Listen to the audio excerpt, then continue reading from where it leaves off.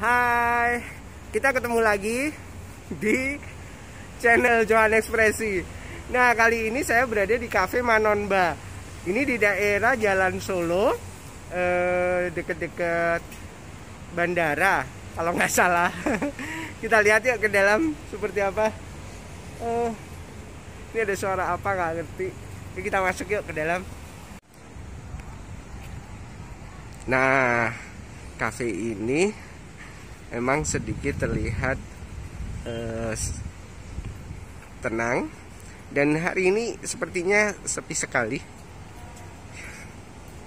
Kita lihat sekilas. Nah wow. Katanya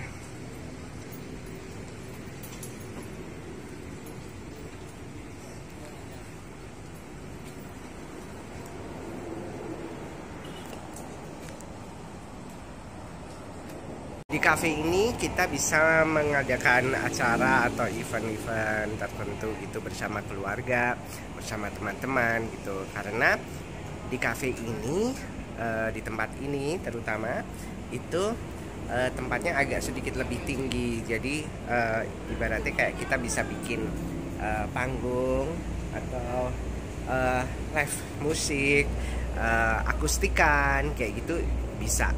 Nah, jadi ini kita turun ya. Nah jadi kalian bisa lihat di situ bisa digunakan untuk berbagai acara kan.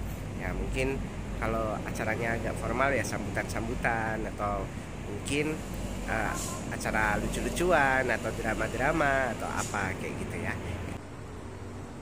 Di area ini ini ada di luar ini outdoor Nah, jadi kalau teman-teman bikin acara di sini, mungkin ulang tahun atau uh, mungkin syukuran wisuda, itu tempatnya sangat asik karena semuanya hijau gitu. Bahkan rumputnya, rumputnya juga sangat hijau, sangat seger. Ah, audionya agak noise karena ada suara nggak tahu apa nih. Gitu. Hah, ada yang manggil namaku. Eh lontong opornya habis. Eh belum kok oh. mau korden blue aja? Boleh deh boleh. Boleh jadi oh. ya ya. Kita lihat di sini. Tempatnya sangat asik. Cuma agak-agak noise ya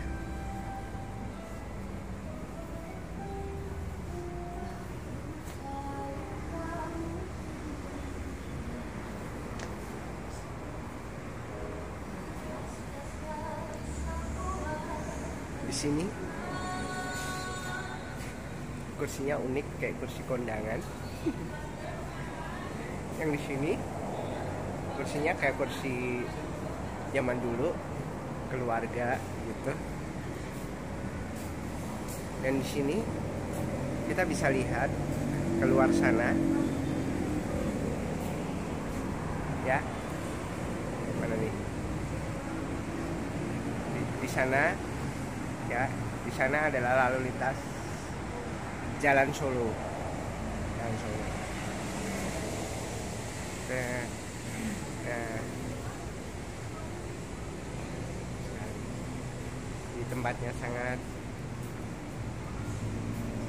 asik sebetulnya kalau buat kumpul-kumpul. Buat bikin acara keluarga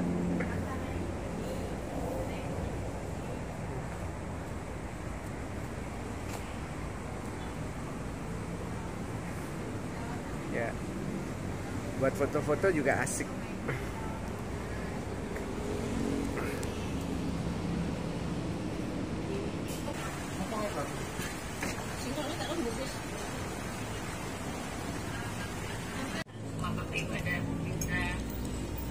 Oke okay guys, kita akan pulang. Jadi acara kita di sini sudah selesai. Tapi karena hujan, jadi kita agak berputar kita mencari jalan yang ada atapnya gimana ini